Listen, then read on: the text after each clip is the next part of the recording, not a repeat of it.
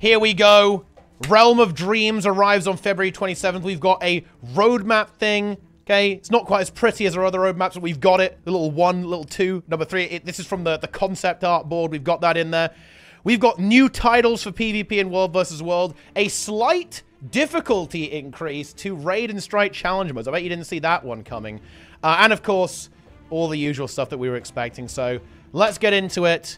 We have got the new content. We've got the new trailer. You can watch the trailer if you like. I'm not going to steal this trailer and put it in my video, but it's pretty cool. It's got all the usual stuff. It's got demons in it. It's got a little bit spooky. There's not as much story stuff in there as I'd expect. It doesn't really tease the main villain, most notably, actually. I guess we can just play it in the background here. It doesn't really tease the main villain uh, for the story. It's kind of like maybe a bit more setup, and that, it kind of suggests to me that actually the story is going to be more, not exactly set up, but I think it's going to be a bit of a slow burn. I think we're going to see kind of the climax more starting towards the end of this episode and then really kicking off in the finale of Secrets of the Obscure next time. That's kind of the vibe I get from this. We'll see how that one actually, you know, we'll see how that one actually turns out when we get there. But of course, we've got new map coming into play. We've got our new convergence bosses. We've got our legendary uh, relic coming into play. So last chance to make a legendary legendary rune to get that one for free. You've got our extra weapons, bear that in mind. So you've got all the brand new weapons coming into the game with all of the beta adjustments, probably a few more tweaks alongside there as well. Uh, you've got the legendary armor. I mean, goodness me. Probably there's going to be a bunch more. There's going to be new skins, right? Like all this kind of stuff. Like the usual, it's a Guild story update. Like we know what's going on here, right? It's the, the usual things are happening here, okay? They are, they are happening all that kind of good stuff. Uh, on the Legendary Armor, actually, uh, we actually do have some pretty good sneak previews of these that's kind of coming into play here. We've got the Light Armor here, the another Light Armor there as well. That's another Light Armor, then Light again. Well, yeah.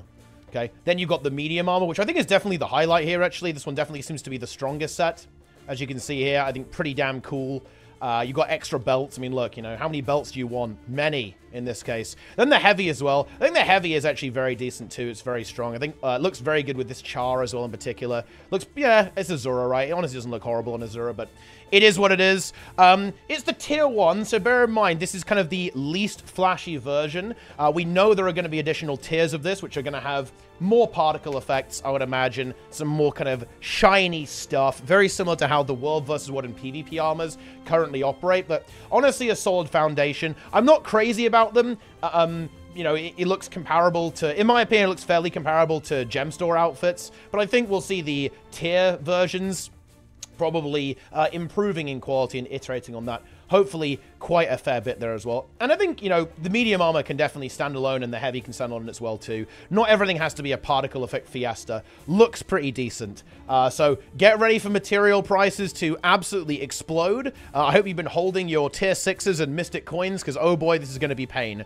Maybe they've added some really good farming into the game somehow uh, and to kind of counteract that. But man, things are about to get pricey for a while because I think everyone's going to want to go for these. Not just for the skins, of course, but also um, because of the convenience factor of legendary armor. So it's going to get wild out there. And I imagine, very similar to uh, Gen 2 Legend, uh, Gen 3 Legendaries and End of Dragons, the actual cosmetic upgrades are going to be massive material sinks. Oh, oh man. I, I bet ANET are excited because holy shit, they're to make so much money on gem to gold conversion.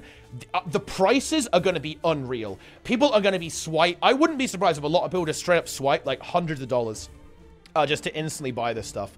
Like, man, it is payday cash money for Arena around the corner because I think people are really to want to get their hands on these. And of course, the skins as well. Got some other stuff though as well, and we actually have the next date for a systems update, and this is a big one actually. I forgot about this in my little intro. Take a look at this. I can't believe it. It's finally happening. We almost thought ArenaNet forgot about this. This is a huge upgrade. We're introducing more granular options for the post-processing graphic setting. Currently, there are only three options available for post-processing, off, low, and high. Each of these settings controls hidden options such as bloom, color grading, color tint, distortion, light rays, and selection outline.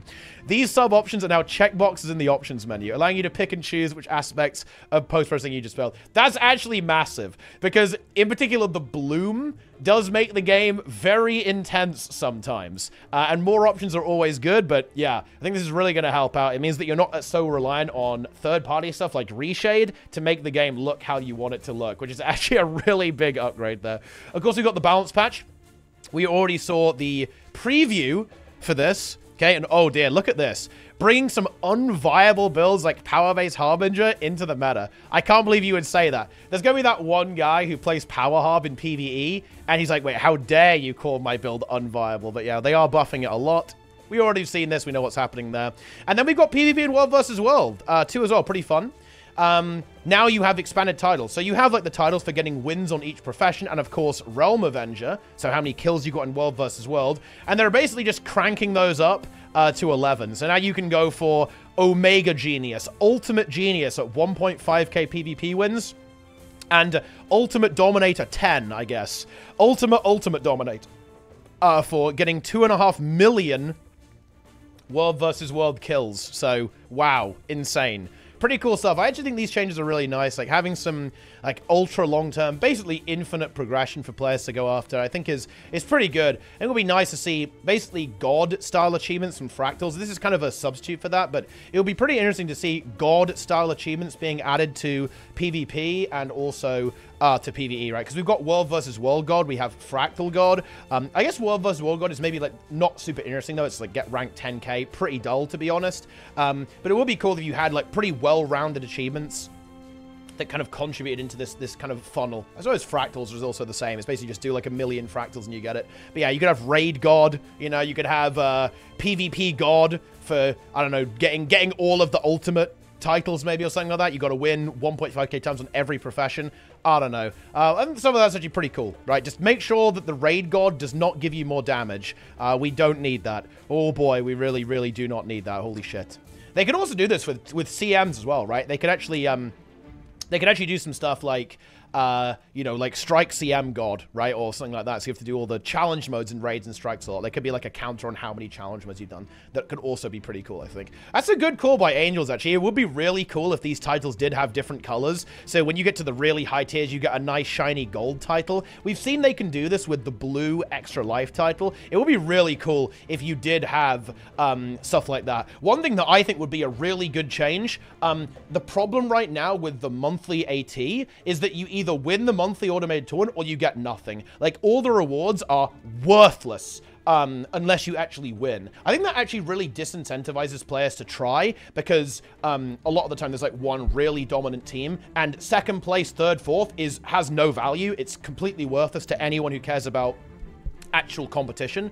Um, it would be really cool actually if uh, best of the best was actually extended down to third and fourth place as well. But if you win, you get a golden one. If you're second, you get a silver one. And if you're third or fourth, you get a bronze one. Then that could actually potentially really encourage people to kind of go for it, right? Uh, and, uh, you know, they'd be encouraged to, uh, to actually try to kind of climb up there because it means you don't just leave with nothing until you win. Like, very binary reward structures are not good in general. We kind of see some issues with that in PvE as well. But honestly, that's another video. I'm getting, I'm getting off track here, okay? We're, we're, we're re-rating this. And the Lord update. We're modernizing the loadout of Castle Keep and Tower Lords with the addition of a new channeled healing skill that aids objective defenders in combat giving the Lord a more active role in battle.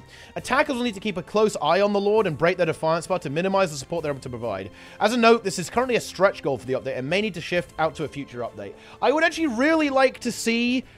I'd really like to see uh, uh, the rationale behind this, because I'm not going to lie, dealing with lords is already pretty annoying, um, uh, to be frank. Like, they, after, like, the damage nerfs came through, they can take a really long time to kill, especially if it's Iron Guards, um, especially if it's, like, massively scaled up as well. That it can take a really long time to kill these.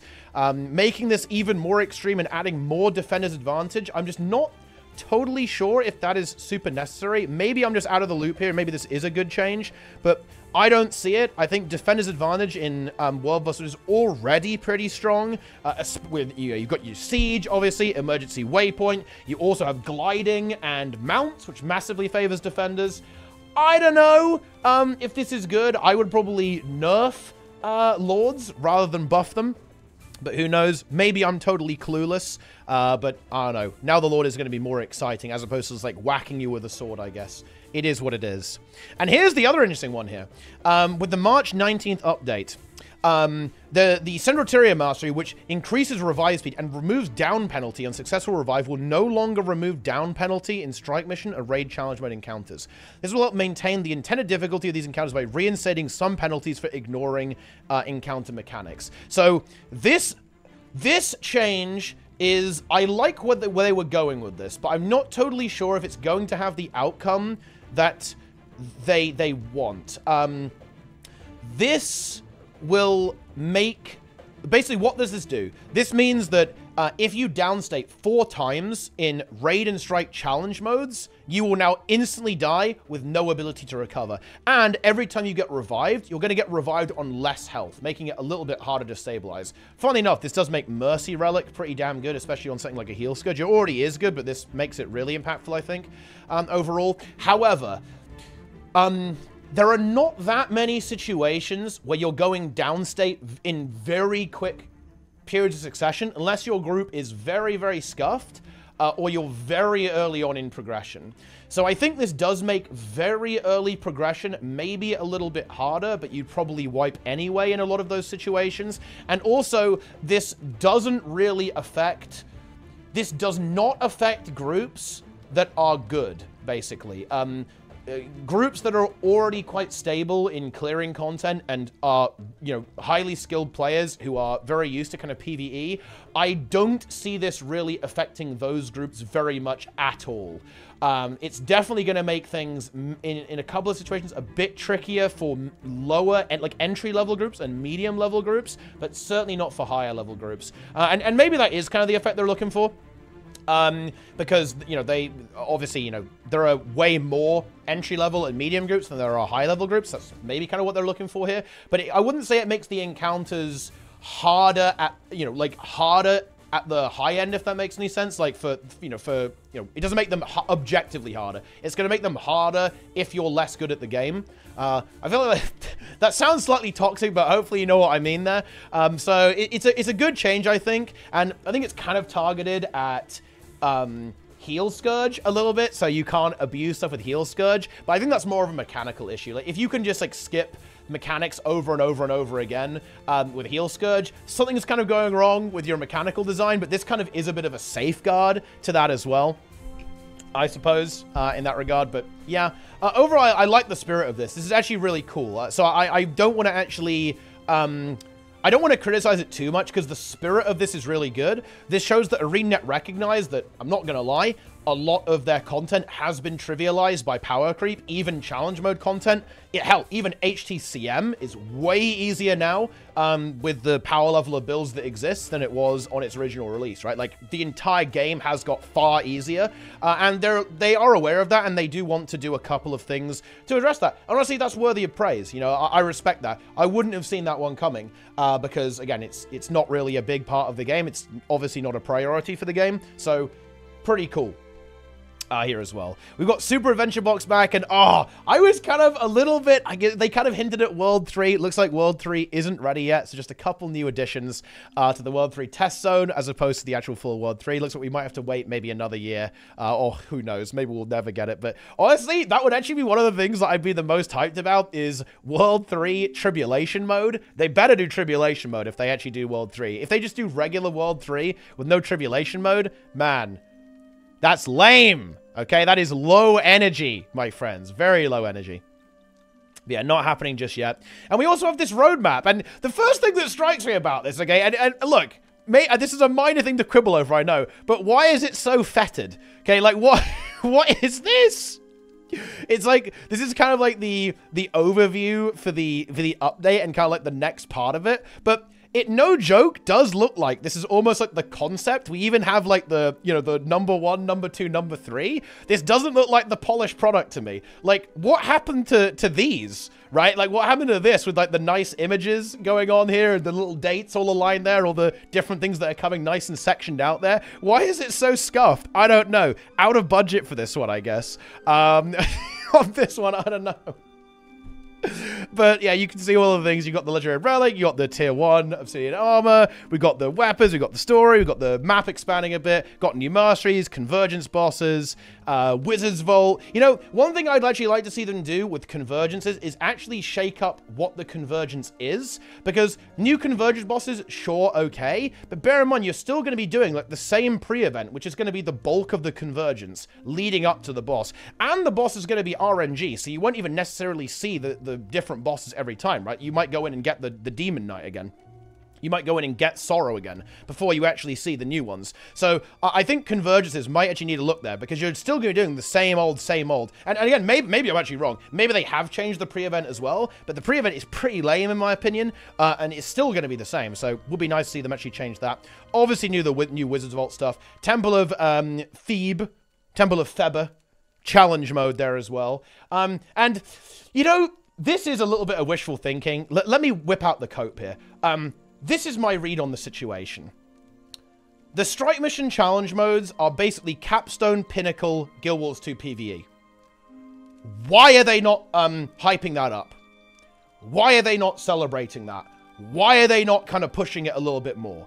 It should be a bit of an event. It should be, look at this. This is the big bad boss. Look at our big bad boss that we added to our video game. Look at all the people trying to kill it. Can you kill it? I bet you can't, right? Like, I, I feel like that's the way it should be. It should be big hype, big event, big thing for the game coming out. Now, of course, there's a risk when when when something's like Dagda, right? Because then it makes the game look really bad. Um, but I'm look, I'm sure they've learned from that and they've made it a little bit harder. And I, I, it's probably not going to take that long to kill. Like, maybe a couple of hours is probably the upper bound for progression, I would say, um, for, for Cerus CM. But there's, look, okay, let's meme it up here a little bit. Like, ha ha ha, yes, Dagda CM was an abysmal failure, okay? Like, of sure. Um, but the thing is, they, Anet didn't want that. Like, Anet did not want the boss to literally die in one try. Come on, let's not be silly. They obviously didn't want that to happen. And I would be re- I would be genuinely shocked. I would be so unbelievably shocked if Cerus CM comes out and gets one shot. Like, uh, uh there's no way Anet will allow that to happen again because it's just not a good look. Um, so yeah, I don't know. I, I, really wish they would hype this stuff up, you know? Like, same with the Fractal CM. They should be hyping this. You know, this is like a, a significant thing for the game. Um, and it, it, it's weird that we don't see it here. It's not shown in the trailer, it's not mentioned in the trailer, and it's mentioned in like two lines in the blog post. And this is some of, realistically, Strike CM stuff, this is probably some of the most intensive stuff to make, right? Like, you know, it, you've got to be careful when you're designing a, maybe not Dagda, but like if you if you do a Strike CM well, it's going to be a lot of effort from the company to make something like that. If this is high effort, it should be shouted from the rooftops. They should be promoting this. So, yeah, I- am going to have to, I-, I will criticize them for this. Like, why is it not here? Why is it not mentioned at all? Why is it not shown at all? Like, if there's a, uh, if there's a crazy new mechanic that's going on, show us the boss doing something cool, right? Like he's doing some kind of like, you know, deadly thing and blowing people up. I don't know. Show us that. But whatever. Maybe that is just cope. Maybe that is just wishful thinking. And then, of course, we've got the other stuff coming on a little bit later. Uh, that's going to be happening on uh, March 19th. That's happening there. Then you've got the other festival stuff there as well. And we've got the rushes, too, that are being shown. Fractal Rush bonus event, World versus World Rush again. So maybe another little World versus World event, too. Living World Season 2 bonus event, Heart of Thorns bonus event. Oh, you're going to get even more gold for your Octovine. Absolutely insane. And of course, looking ahead, we know the finale of Secrets of the Obscure is coming in just a few months away. So, again, probably like three months, three to four months after that. And of course, we'll know the date because now, uh, the Wizards Vault has shown us the date of the new content uh, two out of two times. So it looks like this is going to be a soft release timer, basically, uh, for the foreseeable future. So we'll know exactly when it's dropping, just based on the Wizards um, Wizards Vault. So about 100 days afterwards, give or take, is probably what it's going to be uh, until the next release. When you're going to beat down the final boss, you've got the Fractal with CM, of course, and Tier 2 of the Obsidian Legendary Armor set as well. Um, so yeah, we'll see how that one's going to go. I, I, you know, here's something that I will say. Um, I want to see ArenaNet really talk about the Fractal. Because if I was a Fractal player right now, I think I would be peak abyss level Doom. Because if I'm a Fractal player, the Silent Surf and a lot of changes that have been made to Fractals, like status reset, have been the opposite of what Fractal players want. It's been everything that Fractal players don't like. Pretty much the the the worst like time to be a Fractal player ever in terms of stuff that's happened recently. Um so I actually really want to see ArenaNet take some care um, to reassure Fractal players that they're listening and they want to create something that Fractal players like. Like, is the new Fractal just going to be a boss on its own? Is it going to have mini games on the way there? What are their goals with the challenge mode? Like, is it going to be a single boss? Is it going to be a multi-boss? Like, so is it going to be more like Nightmare Fractal? Is it going to be more like Sunqua Peak? Is it going to be more like Shattered Observatory? Like, where are they going with this? Um, exactly. Because I think there's a lot of unhappiness amongst, like, kind of more hardcore Fractal players. I'd really like to see their... I, well, this is kind of a... This is kind of like a more of a, a widespread thing, but I'd love to see their encounter designer, their whoever is the lead of encounter designer at ArenaNet. I think we should see a stream with that. Let's talk about encounter design and, and go there. Because honestly, when I see Dagda CM encounter design, I go, what is this? like, what, what, what? I, I don't get it. Am I missing something here? What? Yeah. But anyway, the CM's coming. New relics. Tier 2 of the Obsidian Armor, so it's going to be all shiny and stuff like that. Get farming for that one more Wizard's Vault, and more. And then, of course, so it looks like we're going to get... I'm actually surprised they didn't drop the expansion announcement at the same time as the final episode. So it looks like that's not going to be the case. It's going to be final episode dropped, and a little bit later they're going to drop the X-Pack announcement. And it will be launching probably around the same time, kind of August, September is when you're going to get the new launch. Pre-orders starting soon, so buy the game using my referral link. Oh, yeah. Uh, 2024 is shaping up to be another great year for Guild Wars 2. You know, they should have just said 2024 is the year of Guild Wars 2. That would be a really fun way to end this, but it's, you know, it's pretty cool. Pretty cool. Not a bad post. Uh, they should get Trig right in these, man. I don't know, dude. I know where I know where Trig's at, but um, this one definitely a little bit drier. You know, like Trig spoiled us, man. Like he spoiled us with his flavorful, hilarious jokes, um, and you know, uh, very enjoyable language. This is a lot less enjoyable to read, to be honest. But it's not bad. Uh, you know, it's, it's all right. But anyway, that is the roadmap. That's what's happening. That's what's going on in Guild Wars 2. It's pretty good. Some nice little uh, surprises here. And of course, all the stuff that we already knew was coming. So there you have it. React content has been completed. Let me know what you think. Uh, be sure to, you know, follow and subscribe for more content. Zero to Hero is back. Zero to Hero is live on Twitch and on YouTube. Be sure to subscribe on YouTube, follow on Twitch, follow my social media, join my Discord to join the Zero to Hero Guild. Oh, yeah. Bet you didn't see that one coming. And of course, just like ArenaNet, I'll see you in the game. Thanks for watching, gamers. I'll see you next time. Oh, yeah, like the video too. Feed the algorithm. Let it feast upon your mouse click.